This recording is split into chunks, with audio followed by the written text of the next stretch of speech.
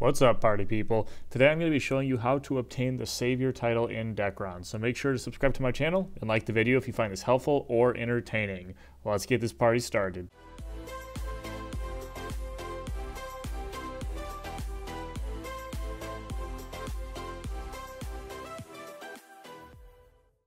In order to obtain this title, you need to make your way to this uh, Python Castle solo dungeon located in Doomed Maze.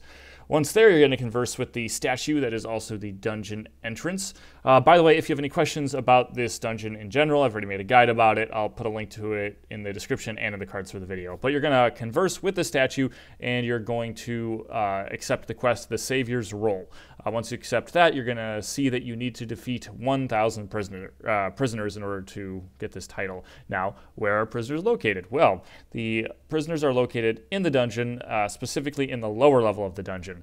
So you're going to have to start killing those prisoners. Now, you will not be able to kill all 1,000 prisoners in your first run, so you'll have to do multiple runs. And uh, if you have camouflages, you can expedite that because you can do multiple dungeon runs a day, but it doesn't take very long in general. So uh, you just need to do enough dungeon runs in order to get 1,000 prisoner kills, and then from there, you can uh, head back to the entrance of the dungeon and turn in your quest, and you will obtain the Savior Role title. Super easy.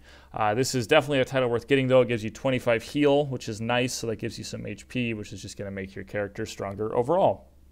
And yeah, that's it for this guide. Super simple, super quick. Uh, if you have any questions or suggestions, as always, guys, you can leave them in the comments. And until next time, take care.